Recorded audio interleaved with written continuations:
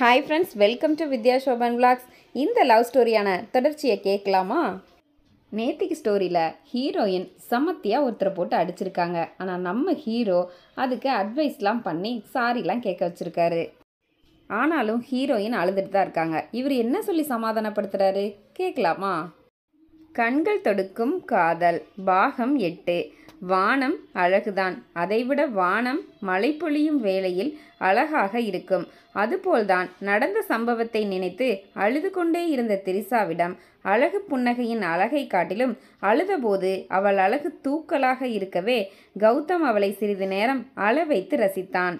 சிறிது நேரத்தில் திரிஷாவிடம் சென்று திரிஷா அழாதே. கண்ணீரை தொட. திரிஷா நீ செய்தது சரிதான். இப்படிதான் துணிச்சலாக இருக்கணும்.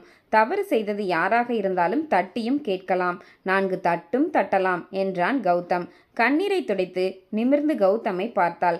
கௌதம் அவளை நோக்கி பாரதி காண துடித்த புதுமை பெண்ணாக அவனுக்கு அவள் தெரிந்தாள். வழக்கத்திற்கு மாறாக அதிகமான பயணிகள் கூட்டம் பேருந்தில் இருந்ததால் திரிஷாவுக்கு இருக்கை கிடைக்காமல் நின்று கொண்டிருந்த அவளை நோக்கி திரிஷா இங்கே வா. இருக்கை இருக்கு என்று அழைத்தான்.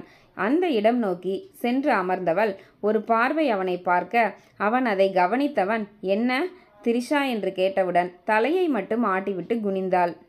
அப்பா அம்மா உறவுகள் என யாரும் இவ்வளவு அக்கறை காட்டி என்னிடம் நடந்ததில்லை என்று நினைத்தவள் அவனை மீண்டும் பார்க்க வேண்டும் என்ற ஆசை வர மீண்டும் தலையை நிமிர்த்தி கௌதமை பார்த்த அந்த நேரத்தில் பேருந்தில் ஒலித்த சூரியன் பன்மலை நைன்டி த்ரீ பாயிண்ட் ஃபைவில் ஒரு முறை பிறந்தேன் ஒரு முறை பிறந்தேன். உனக்கென உயிரையும் நான் கொடுப்பேன்.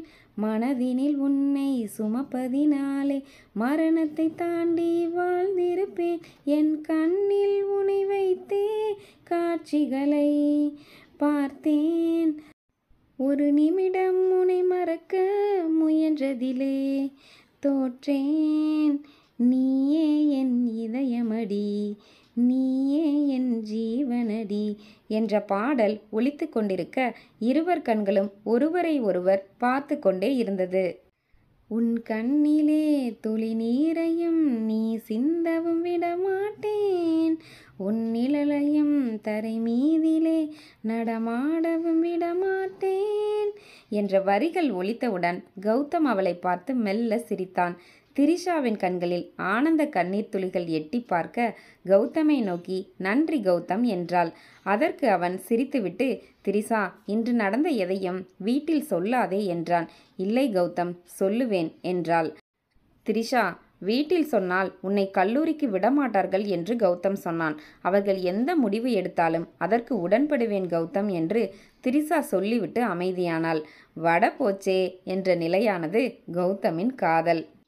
கண்டிப்பாக கல்லூரியில் நடந்த பிரச்சனையை வீட்டில் சொன்னால் ஒரு சில பேரண்ட்ஸ் வந்து புரிஞ்சுக்குவாங்க. ஒரு சிலர் நீ கல்லூரிக்கே போக வேணான்னு சொல்லியிருப்பாங்க. இந்த திரிசாவுக்கு என்ன தான் சொன்னாங்க? நாளைக்கு இந்த கதையோட தொடர்ச்சியை கேட்கலாம். இந்த கதையை பற்றின கருத்துக்களை கமெண்ட்ஸில் சொல்லுங்கள் இந்த கதை பிடிச்சிருந்தா மறக்காமல் நம்ம சேனலை சப்ஸ்கிரைப் பண்ணுங்கள் ரொம்ப பிடிச்சிருந்தா லைக் பண்ணுங்கள் ஷேர் பண்ணுங்கள் கமெண்ட் பண்ணுங்கள் ஓகே தேங்க்யூ டட்டா பாய்